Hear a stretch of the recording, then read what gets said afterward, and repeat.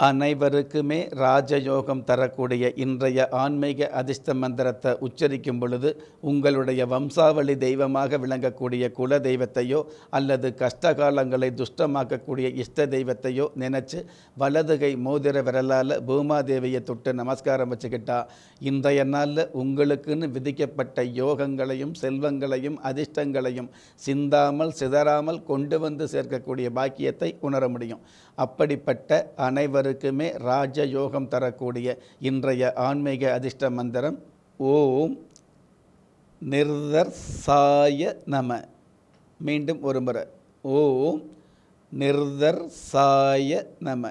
இந்த மந்திரத்தை நிகழ்ச்சியில் சொன்ன மாதிரி பயன்படுத்தி மற்றவங்களுக்கும் தெரியப்படுத்தி பெத்தவங்க முன்னாடியும் மற்றவங்க முன்னாடியும் பெருமையான வாழ்க்கையை நீங்கள் வாழணுங்கிறதுக்காக நானும் பிரார்த்தனை பண்ணுறேன்